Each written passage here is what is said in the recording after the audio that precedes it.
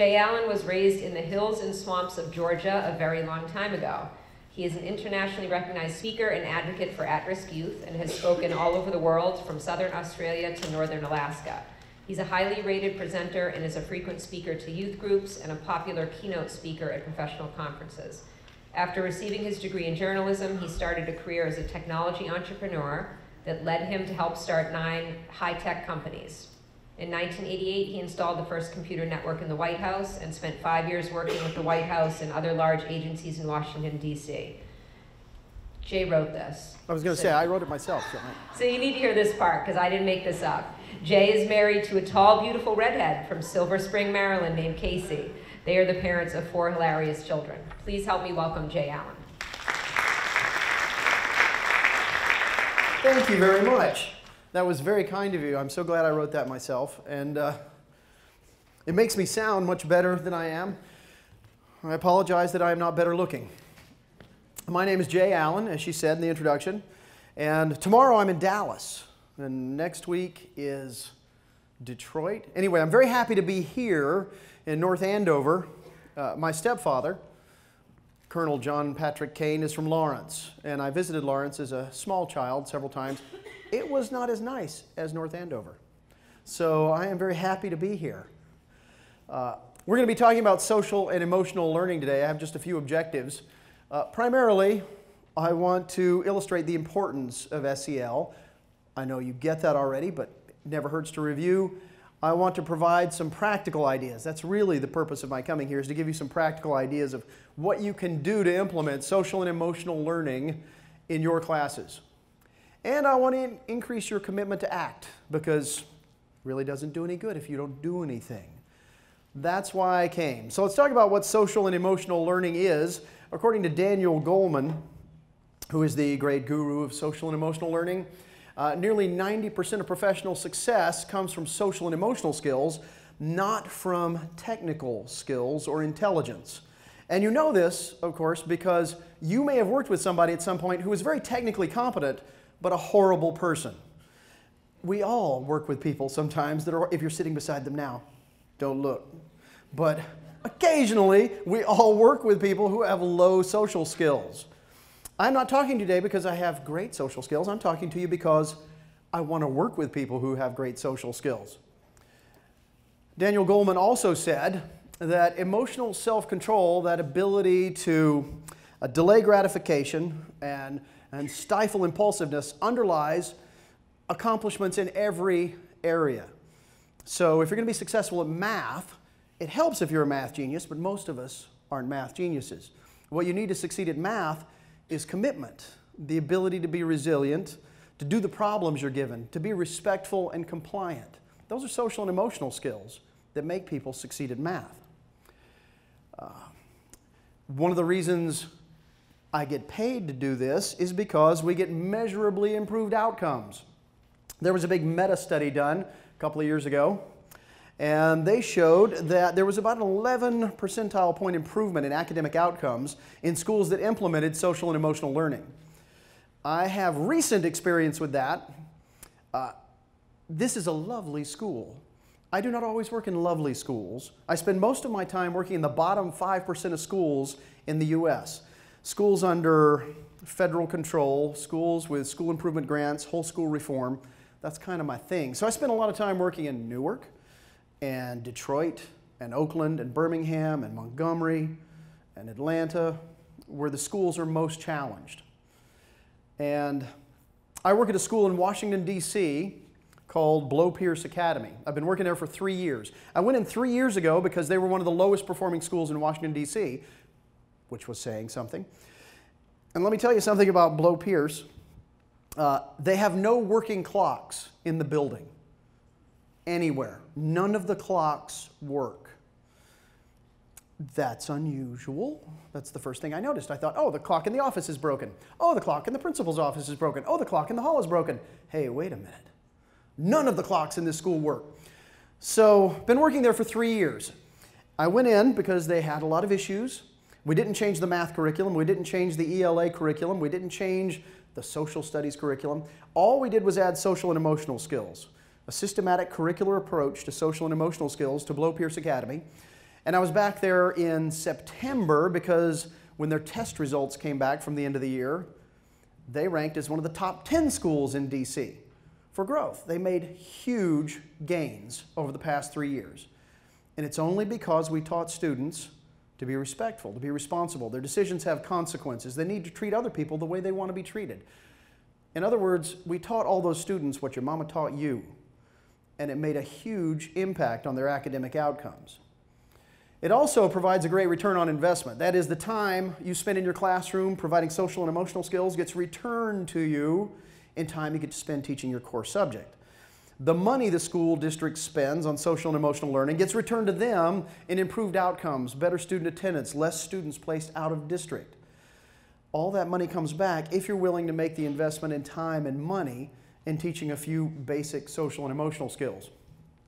The reason I'm talking to you today, as I mentioned earlier, is not because I'm the Lord of social and emotional skills. It's because I was one of your students. That is, well, I had a lot of challenges during my education. I'm a product of the Georgia public education system. You know what the motto of Georgia public education is? Thank goodness for Alabama.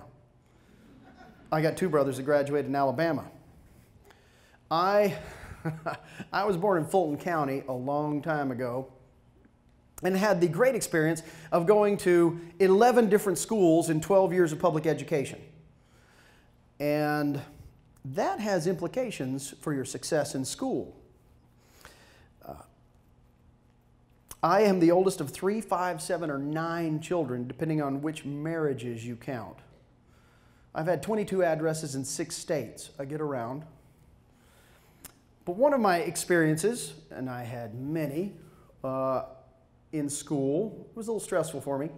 But in the fourth grade, uh, I remember having a meeting with the principal. And I had to call my father recently and say, Did this really happen? Because I said, I remember a meeting with the principal in the fourth grade. And my father said, Son, you had a lot of meetings with the principal, which is true. I knew every principal of every school I went to very well. But this one was different because in the fourth grade, there was another man there. There was the principal and a man from the district. And my father and I went in. We're sitting here, we're talking to the principal and the man from the district. And the man from the district looks at my father and says, Mr. Allen, we believe your son is mildly retarded. And I said, Yes. Right? Because if you're going to be told you're retarded, you want it to be mild, right? I thought, that's a win. And so I called my dad and said, Did that really happen? And he said, yeah, that's the way I remember it. I didn't think it was that mild. Um, do you think that if you're told in the fourth grade that you are retarded, that you ever forget that? In 10 years or 15 years or 50 years? And do you think that has implications for your expectations as you move on through your education? As I went through the school system, I moved in and out of special education. I had the experience of being homeless as a child. I was exposed to my first murder when I was six years old. So when I say I was one of your kids, eh, not quite. I was more like one of the Detroit kids. I grew up in a classic Southern childhood. I grew up in a Merle Haggard song. It was all alcohol, adultery, and murder. But I did survive. And I went to a new school for my senior year, which is always exciting. And uh, showed up at the new school. And this time they weren't interested in putting me in special education because they were just interested in getting me out of the school. But I came to the end of my senior year and I did not have enough credits to graduate. That year in 1980, they required 305 credit hours to graduate in Georgia. I had 300, which meant I had failed too many classes. Poor planning on my part. But I had just failed English the previous term. So I was able to go back to my English teacher from the previous term and say, you know, you gave me an F in your class and I believe I did D quality work. And she said, nope, I'm pretty sure it was F quality work. And I said, I'll take your class again. And she said, you know what? Now that you mention it, I believe it was C quality work. And I actually have the transcript. I just found it recently. I was going through things, opened up my diploma, and my senior year transcript was in there, and there is an F in English marked through with red, and a C is written in, and that's how I got out of high school which is, you know, they don't have a special award for that, like magna cum sucks. Um, no, I was bad, but I got out of school And here's the funny thing within five years of leaving high school, I was working in the White House. Now, if you're familiar with the White House, you would not be surprised to know that. Um, there is, I discovered in five years, a lot of conduct disorder in the White House. And there always has been, there always will be. I was there through three presidential, okay, I was there for the end of the Reagan administration, the entire George H.W. Bush administration, the beginning of the Clinton administration. So I got to see a lot of change in the White House, and it was always crazy. If you had been my fourth grade teacher, or my seventh grade teacher, or an eighth grade teacher of mine, you might not have guessed that I had much potential because I wasn't shining. I wasn't successful at just about anything to do with school. And yet, there was something in me. Mark Twain said, Thousands of geniuses live and die undiscovered, either by themselves or by others. You have students you teach whose potential is not immediately apparent because they struggle, because they have problems that you can't fix. They come to you with learning disabilities and cognitive impairments and anxiety, and they come with a full raft of problems that are not your problem, right? And yet, your responsibility is to teach them, to change them, to move them forward in their lives. And that's what I came to talk to you about.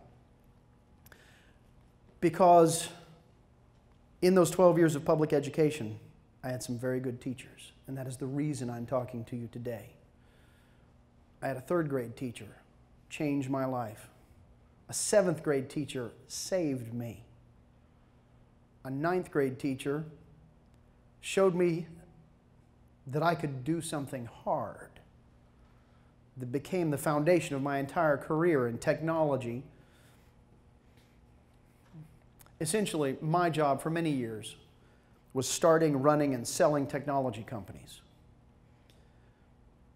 And it turns out that to do that, all I needed to do was listen to people and solve their problem. That is a social and emotional skill that I picked up from people like you in my education that served me well for the rest of my life. What I want to talk to you about today is what's going on here. What does this mean to you? This is a survey done uh, through the school nurses. It was a self reported survey of parents and other data they collected. And I just wanted to point out the change between 2016-17 school year and the 2018, 2017, 2018 school year. Uh, there was a substantial increase in every category in ADHD, in autism spectrum, depression, but there was a huge increase in anxiety. And that's not unique to North Andover Public Schools. That is happening everywhere. Everywhere I go. We're dealing with the most anxious generation of children seen, I don't know when kids have been this anxious. The Great Depression, World War II, I can't say. And now keep in mind, these numbers, uh, some of them are doctor referred, some of them are self reporting. They may not be precise, but they are indicative and they are fairly accurate based on my experience in other school districts. So, here I am, the, the expert speaking to you today. Uh, where do you think that anxiety comes from? Where do you think the increases in depression and ADHD, where does that come from? Well, I'm the authority, and I'm here to tell you I have no idea where that comes from. We have theories. You can guess. Uh, one thing we know is that there's been a generational change. Your parents were raised by parents who survived the Great Depression. You were raised by parents who had parents who survived the Great Depression. You raised your kids, and now we come to this generation and the next generation where that resilience seems to have faded. One thing I do know is that the kids I work with, uh, a lot in their late teens, early 20s, spend a lot of time with them. And these are the kids who were one, two, three, four years old when 9 11 happened. And that may have had an impact on how they view the world and their expectations for their lives. I cannot say where this comes from. But I can say that it is consistent with national trends. It is consistent everywhere I go. That anxiety is high and it impacts performance, outcomes, attendance, ability to function in school. The question for us is how do we respond to that? What do you do as a teacher? What does that mean for you? What are the implications for you in your classroom and for your career? We respond, and this is why I'm talking to you today, with skills. If we're going to respond to a crisis of anxiety, of mental health, we need to be specific and clear. We respond with skills that students can understand and apply in their lives. And we respond with appropriate support if we want to stop referring students out of the district, we have to have the supports within the district. And when I say support for students, I mean support for you so that those students can succeed in your classroom. And we need to do it intentionally, mindfully. We have to have a plan and we have to execute on the plan. At a district level, the plan is forming. At a district level, things are coming together. But ultimately, that makes very little difference if it doesn't impact you. You're the one who has to make an intentional decision about how you're going to deliver skills to your students in a way that they understand and remember. What does this mean for you? Well, there is a district level commitment to social and emotional learning. You've probably seen that by now. You've probably heard that. You've probably heard Nikki speak by now. Nikki Murphy is driving this, and she's doing a great job. The survey data collected last year, you did two surveys by an outside consultant early, early in this year, or yeah, early this year, the end of last year. That data, that survey data is guiding the development of the plan. The action plan is forming around the information we have in hand. Nikki Murphy, who introduced me, thank you very much, and brought me here, thank you very much, is working with each school. She will be available to you at your school site to provide professional development as you need in the areas you think you need help in. And Nikki and the building leaders are going to work together to form specific plans for each school site. And they're going to provide ongoing support. Because the one thing no one appreciates is being told, you have a new responsibility. No, we're not paying you anymore. And guess what? We're never going to talk about it again. Because that never happens in education, right? where, you, where you have, you're given some program, some instruction, and you never hear it about it again. Eh, no, this is not that. Already, the district has made this commitment. Already, you've begun to see the implications. This is going to go for years into the future because the kids are not likely to get less anxious unless we do something. So, what we're going for, what we're trying to improve specifically, is self efficacy. There are four areas that we're emphasizing self efficacy, that is agency, the ability for a student to realize that they have power to control their own life because you tell them what to do, right? And they're supposed to do it. Not always very compliant. We want them to feel empowered and realize they can do that. They can make choices. They are not helpless. They are not hopeless. They have power to make decisions. Self management, the ability to control your emotions, to manage your stuff, to show up on time and be responsible. For crying out loud, to have a pen. Where do all the pens go by eighth grade? And social awareness. We want them to be aware of others. They're not the only person in the universe. They may not realize that for a few more years, but we're working on it. We want them to know that there are other people and they have needs, they have feelings, and they have to interact appropriately with those other, pe other people. And we want to create a growth mindset, which is capability. We want students to recognize that they have the capability to do difficult things, to succeed at math, to put together a well constructed paragraph, to understand how the world came to be where it is today and where it might be going in the future. Because the students you teach are responsible for owning that future. So they need that growth mindset. Question becomes, though, why is it so hard for students to do this? Why is this so hard? These are basic social and emotional skills. Your mama taught you, and you picked them up, and you're good at it. Here you are, you're functioning, you're licensed by the state of Massachusetts. Congratulations. Why is it hard for a 15 year old to use the skills that you use effortlessly every day? Any ideas? I'll give you one. Oh, what were you going to say? Impulsivity. Impulsivity. They do not have good impulse control. That, that is true. Their self management skills can be quite low. Another one? They haven't been taught. Thank you very much. Sometimes they don't know what to do. They don't always know what the right thing to do is in every situation. Uh, I got a call a few years ago from a school in Arizona, in Guadalupe, Arizona. Uh, just north of Tempe is a little barrio called Guadalupe. And it has poverty like you don't usually see in North America. Because there are people there living in cardboard houses with blue tarp roofs, and you couldn't do that in Massachusetts because they would melt in the rain. But there's poverty there, crazy poverty, and it is heavily influenced by Mexican drug cartels. And there is a high degree of involvement with their students with gangs. Gang affiliation is very high, violence is high. So they built an alternative high school called Compadre High School in Guadalupe, Arizona. They built this, this high school. It does not say Compadre High School for Mexican gang kids, but that's what they built it for. They got Compadre High School, and they called me and said, Mr. Allen, this is Compadre High School, and we need some help. They said, uh, We have uh, out of control violence here. And I said, You started an alternative high school for Mexican gang kids? Really? Violent. Didn't see that coming. And she said, Yeah, we're having like five fights a day. We got six resource officers on staff, and this school is in danger of being shut down. Can you help us? And I said, I am totally unqualified to do that. And they said, It pays $5,000. I said, I will be right there. And so I fly to Arizona and I drive out to Guadalupe and I sit there and I do what we do in education. I did my observations. You know how that goes. You have people observe your classroom. Mm-hmm, mm-hmm. They look very judgmental while they're doing it too. So I was sitting there doing observations.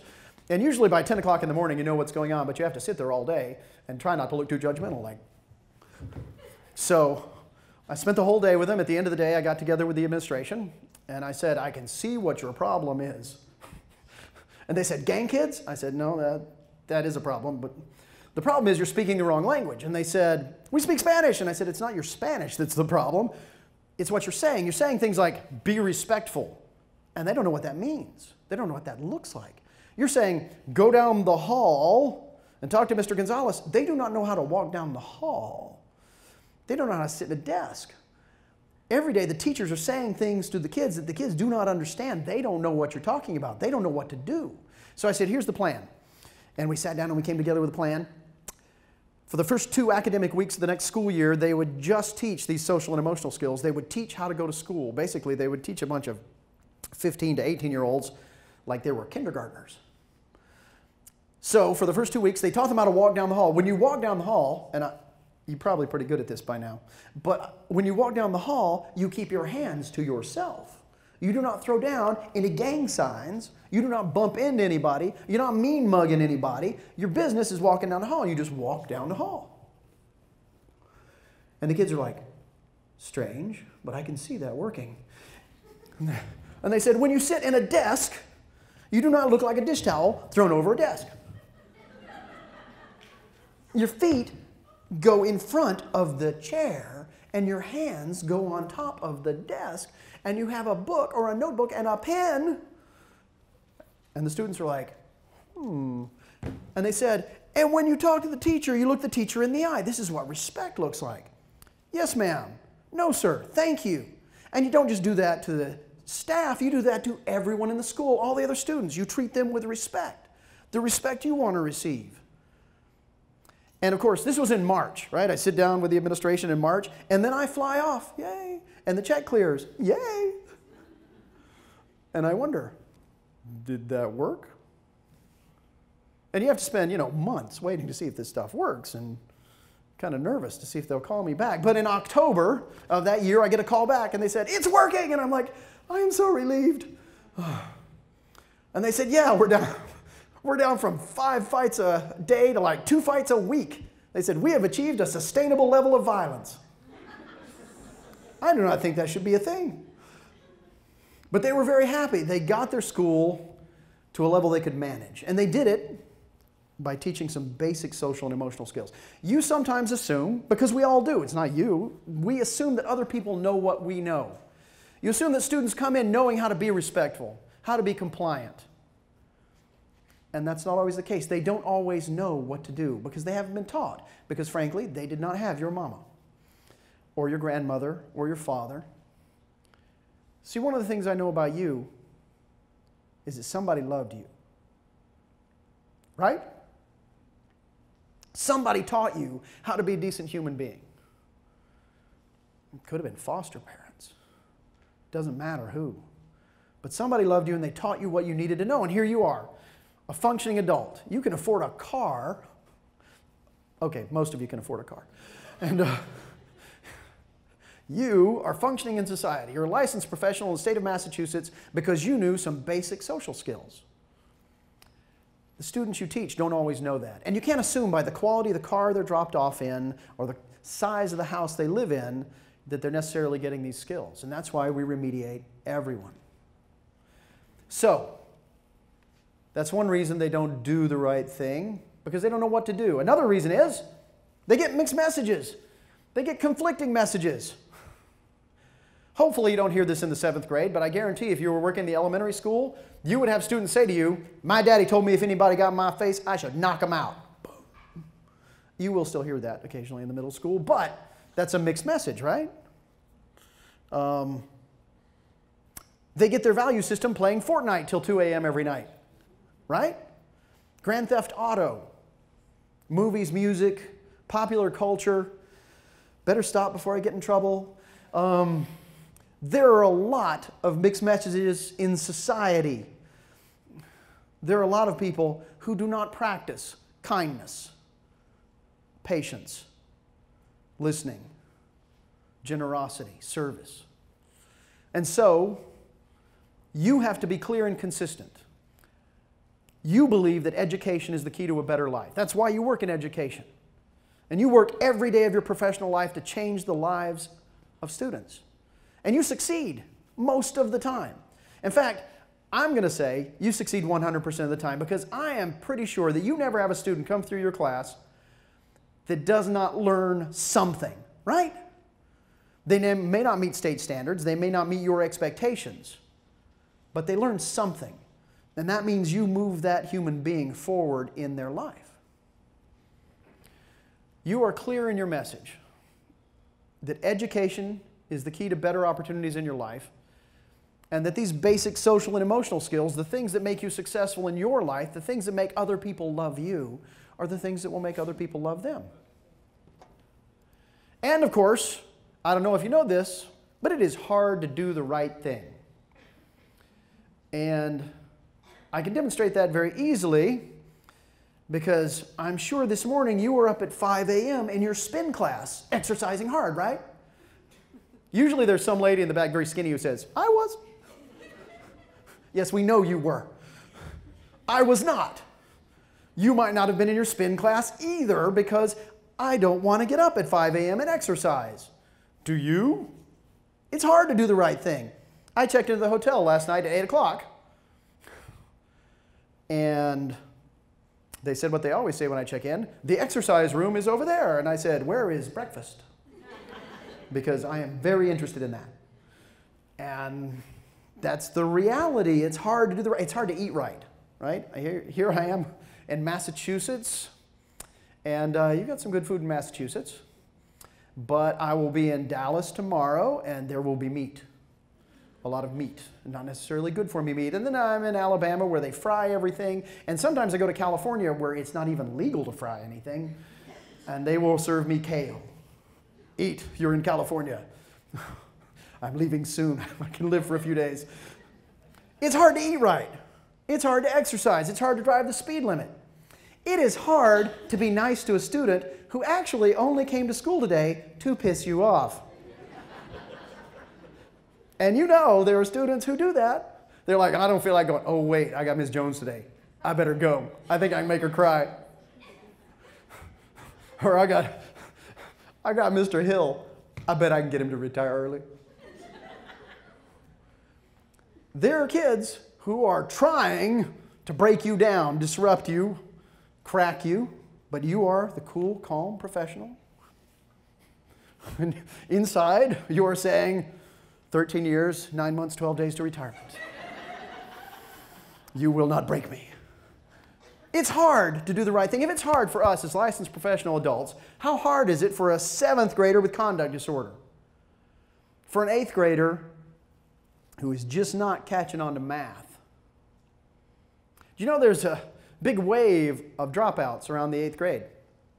We know that most of the kids who drop out of high school are going to decide in the eighth grade whether or not they're going to continue in high school. And you know what that dropout bulge is? We, we can predict it. It's called pre algebra or Math 8, as it may be called now. But when they get to those concepts, when math becomes very abstract, a lot of kids decide school is not for them. And it's hard. Now, you may not have a high dropout rate in North Andover Public Schools, but you do have students who struggle. And because it's hard for them, you've got to give them a reason to do the hard thing. You have in your district the RAISE program. It is a, uh, a structured program that starts in kindergarten, actually, probably pre K, and it is growing in structure over the years. More and more skills are accruing to it, but it's very simple. If you're not familiar with RAISE, it starts with the idea that students will demonstrate respect. Now, the question becomes for you is how do you teach students to show respect? How do you translate raise and respect in your classroom into something that becomes a practical skill for your students? Here's a simple idea create a code of conduct for your classroom. Ask students how they want to be treated. And one of the first things they will say is, I want to be treated with respect. And you say, perfect. That becomes our code of conduct. We will treat others with respect because you're going to treat other people the way you want to be treated. I want to be treated with dignity. I want to be treated kindly. I want to be treated with empathy. I want to be treated fairly. I've made a lot of these codes of conduct. That discussion about respect becomes the foundation of their insight that if they want respect, they have to show respect. And you teach them what respect looks like. So, that's one way you could bring respect into your classroom. Make it a classroom rule and make it a rule that they understand, they appreciate. Then students will demonstrate achievement. This is a school, they're supposed to learn. In fact, your professional life is pretty much driven by their achievement. You are evaluated based on their success at learning. Human beings are designed for achievement. It's built in. We need to achieve. That's why we learn to walk. Walking is hard. You would think if you watch somebody learn to walk, Watch a one year old, walking is hard. They fall down, they bonk their head, they cry, but then they get up and they try again. They're resilient. They do the hard thing. They want the achievement of walking. That never leaves us. Every human being wants achievement. But what happens is, those who don't succeed academically, take that eighth grader who's struggling with eighth grade math, they can decide, I'm going to school today and I'm not going to succeed at math, but you know what I can do? I can succeed at disrupting a math class. That's pretty easy. Takes very little skill. And there are literally students who will go home at the end of the day and tally up how much they were able to keep other students from learning, and that was their achievement for the day. They made you lose your cool? That's an achievement. They own achievements, but they're negative achievements. Our challenge is to get them to identify positive achievements, to want those positive achievements. And uh, one of the ways we do that is we let them taste success. As you know, on the bell curve, abilities are distributed, performance is distributed. Not every student is a model student. Some of us, as I used to like to point out, have to be at the far end of the curve so you can look good. That was my job in school, to make the people on the other end of the curve feel good about themselves. You have students who don't taste success. I did not get trophies, certificates. I did not have report cards that went up on the refrigerator. We expect students to want to succeed, but it is just not the case because if you don't know the flavor of success, you don't know if you want it. You say, education is your key to a better life. Getting A's is going to be great. They haven't gotten A's. They don't know what that feels like. You have to engineer opportunities for students to succeed so you can say, that's what it feels like. You like that? You taste that? That's success. And I can get you more success. It's what I do for a living. I'm a teacher. Engineer opportunities for success so they know the flavor of success because some of them have tasted bitterness and some of them have tasted, tasted ashes. Some of them know loss. And you have to get them to taste achievement, success, so they will want more. And it's hard sometimes. It was hard to get a kid like me to taste success, to want achievement. But it is possible. And that's one of the values we're putting in. Uh, North Andover students will demonstrate inclusion. We live in a society where every student is now isolated by their cell phone, right? They live on those screens, and it creates more isolation, more anxiety, more depression. Okay, I'm blaming cell phones in ways that data may or may not support. But we do see the rise in isolation, we do see the rise in anxiety and depression. How do we get them past that? Create more opportunities for shared experiences. Shared experiences become a foundation for relationships, and relationships are ultimately what drives human beings. My children were raised on rock and rope in the West. Basically, my children say, We were raised in a wilderness survival program. That is totally unfair. We never had a chance. Yes, they did not have a chance to act out because we created shared experiences so that they knew they could rely on themselves. By the time my children are six years old, they know they can tie a knot their life depends on. And the only way you find out is you tie a knot your life has to depend on. Find shared experiences for your students. Build those shared experiences and build relationships between the students, and they become more inclusive. North Andover students will demonstrate service. Service is very powerful, but it has been lost. Remember, a few minutes ago I said your parents were raised by parents who survived the Great Depression, and your parents raised you, and so that the echoes of the Great Depression came down to our generation and have slowly elapsed. There was a word that was used during the Great Depression, earlier in previous centuries sacrifice. People sacrificed for their community, for their families, for their countries. That is almost entirely gone. The whole concept of sacrifice is evaporated. And with that, service. So we find opportunities for them to serve. We teach them the importance of that because it is possible in the 21st century for a student, a child to grow up having never served anyone. Never helped a neighbor move, never helped the neighbor take her trash in, never mowed her lawn for free. Isn't that weird? It's so strange to me, and yet I see it all the time. And that is how I was raised. And finally, empathy. Uh, North Andover students will demonstrate empathy. Empathy is an abstract concept, but it is something that every student can learn, and they learn it very simply. They feel it. In order for a student to learn empathy, they must feel it. And I have many examples of ways to teach this. I'll give you one very brief. Well, this isn't one you can use, okay? This is not something you can do in your classroom, but I'll give you an example because it was very powerful for me. Years ago, working in Canada, I discovered a program called Roots of Empathy. And they would work with students in youth corrections, kids in jail. I spent a lot of time with youth in custody. But this program was like nothing I'd ever seen before. They would go into a correctional facility with young women, and they would take six young women, put them in a room, and these would be young women convicted of assault, drug possession, drug distribution, grand theft auto. On average, when a young man or young woman goes into state custody, they've had 52 encounters with the law. So nobody gets busted on their first offense. So by the time you're in custody, you have had a record. So six young women with serious criminal records, and somebody would bring in a baby. They would find a woman in the community, a volunteer to bring in her baby for these girls. And these girls, now you know what happens when you bring the baby into the room. All the girls are like, baby, and something at the base of their brain goes squirt, and they're like, oh, baby, I need the baby. They love the baby.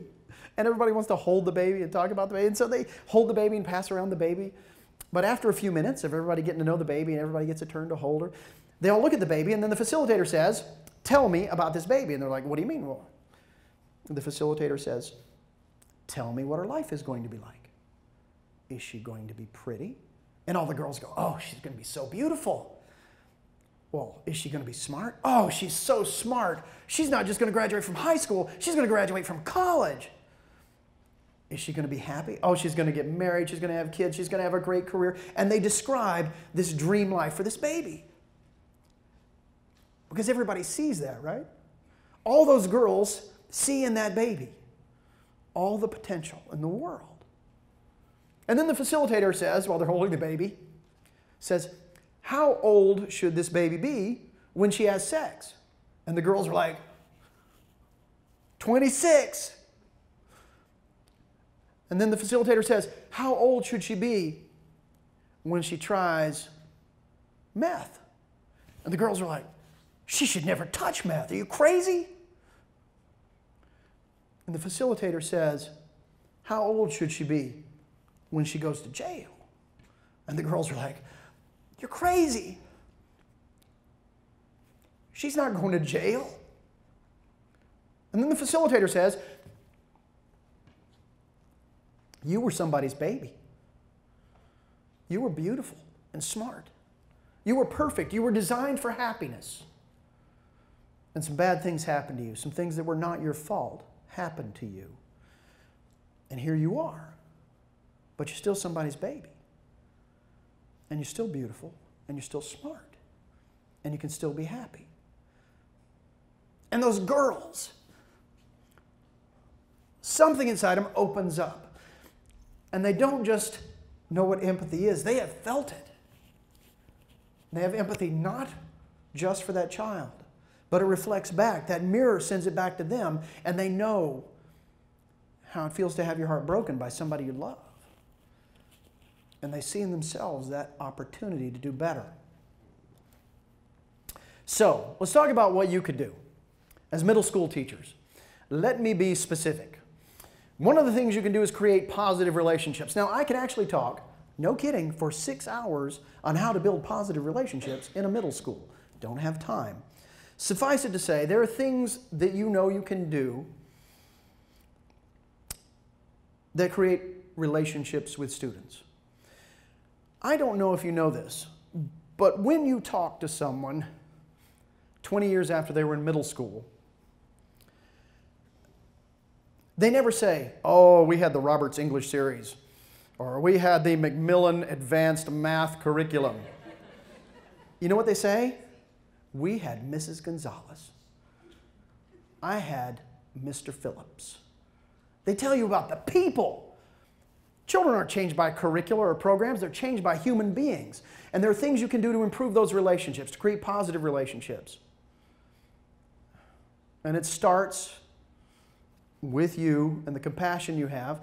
Doesn't mean you slack off on any of your rules. What it means is that you understand there are reasons they do the things they do.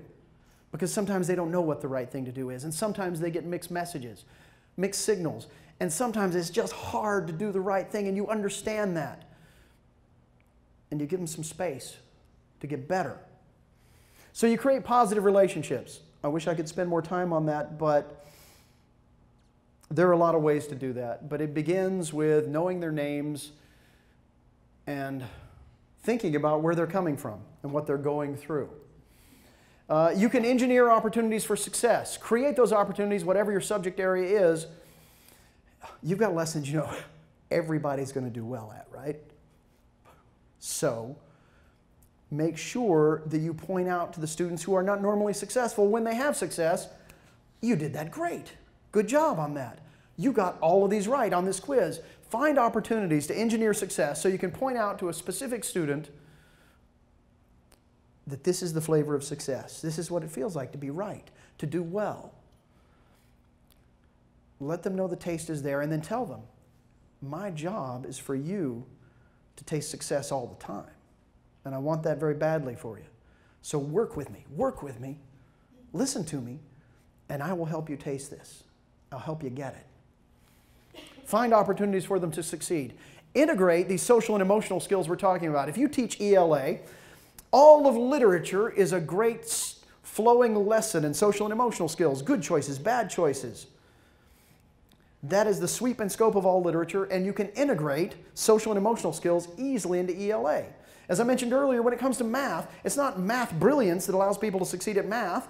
Most of the time, it's persistence. Most of the time, it's doing the problems you give them to do. It's being respectful to you and listening in class.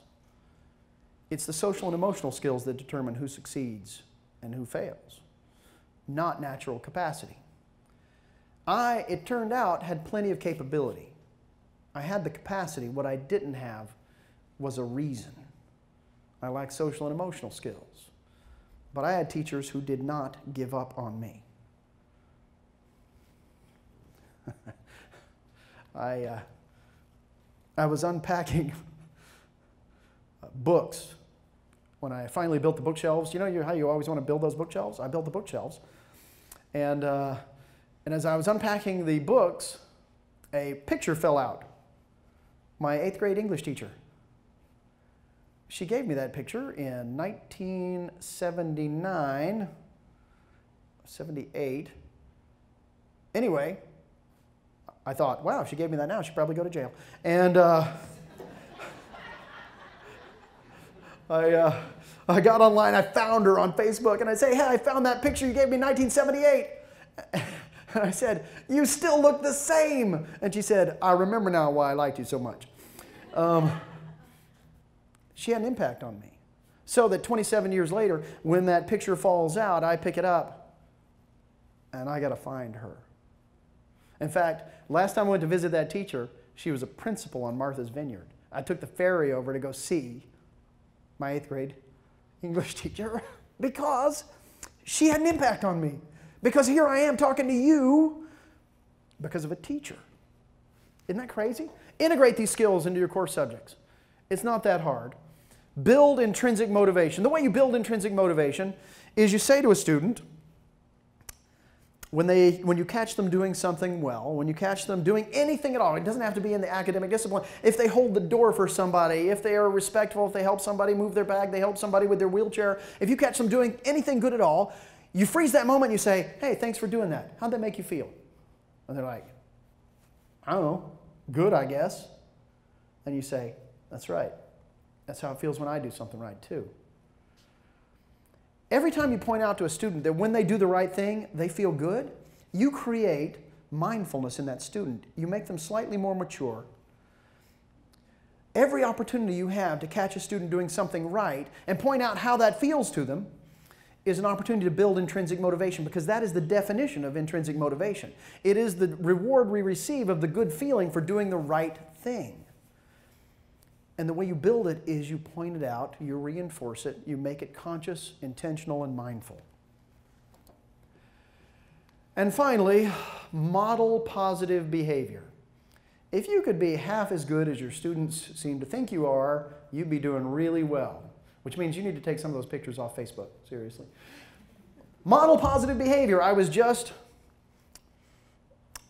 had an awkward experience just a few weeks ago because I was in a school district last year in Pennsylvania, I was in the school district in Pennsylvania, and I was working with the teachers during the day like this, and suddenly everybody's phones start going off at the same time, and everybody's pulling out their phones, and they're all looking at each other. Oh, they did it! And you know the room just explodes. Everybody's buzzing. And what the texts they were getting were saying was the school had just fired the superintendent. The school board met during the day. School boards do not meet during the day. That, that is very unusual. But the school board met during the day on this occasion to fire the superintendent because he had already been in jail for 90 days.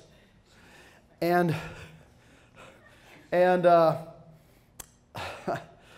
and I tell this story everywhere I go, and I tell teachers look, the least you could do is not wind up on the evening news in a bad way, right?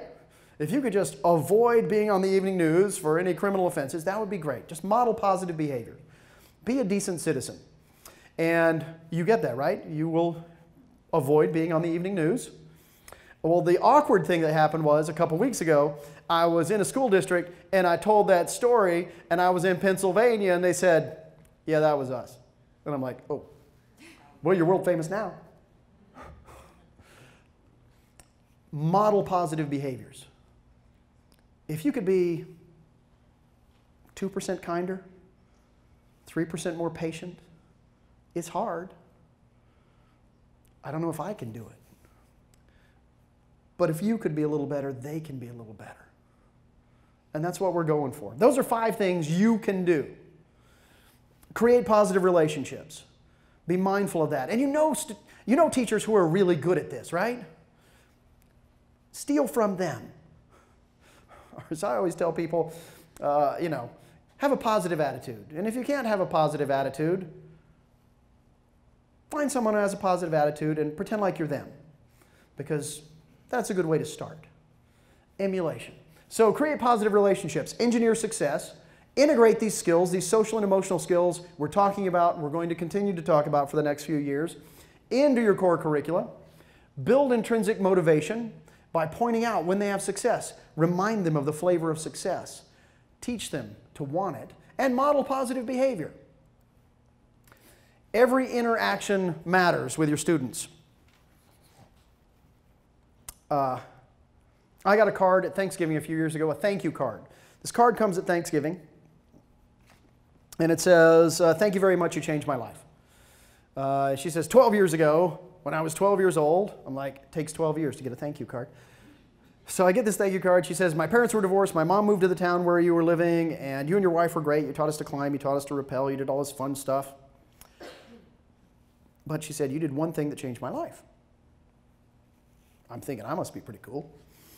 And she said, One time I was in a class, and you happened to be in that class. I was not a teacher, I just happened to be in a class. And she said, I was asked to read something, and she said, After I read it, you leaned over and said to me, You read very well. And I thought, Sounds like me. And she said, My mom finished school after a year. We moved away, left the state, never came back. She said, But I stayed in school, graduated, started college. She said, My sophomore year, I lost my job, and I was freaked out because I needed that job to survive. Uh, and she said, I, uh, I went down the student union, union building and looked at the jobs. Do you remember the jobs in the student union building? Those are the worst jobs barn custodian, men's locker room attendant, telemarketing. And you're looking at all these jobs thinking, what am I going to have to do to put myself through school? She said she was looking at those jobs and she saw one on air announcer for the student radio station. And she thought, that doesn't have anything to do with my major. And then she said in this card, she writes, I heard in my head your voice say, You read very well. And she thought, You know what? I do read very well. And she took the number and she called the station. She got the job and she worked her way through school as a radio announcer for the next five years. She graduated in electrical engineering. She was a smart girl. Every student who comes to your school already knows what's wrong with them. You do not need to tell them. Plenty of people have told them what's wrong with them. What they do not know very often is what's right with them. And the smallest interaction can make the biggest difference. I have found that when I talk to kids, the thing that has the most impact, and it's the stupidest thing, is when I look them in the eye and say, You're going to be okay. Because sometimes no one's told them that yet. They don't know if they're going to be okay. That's the reason they're crazy in the seventh and eighth grade, is because they don't know if they're going to be okay. And somebody's got to tell them, You're going to be okay. The smallest, stupidest thing you say could change the course of a child's life. I'm glad you're here. You look beautiful today. Good job on that test. I heard you won the softball game. You read very well. Isn't that crazy?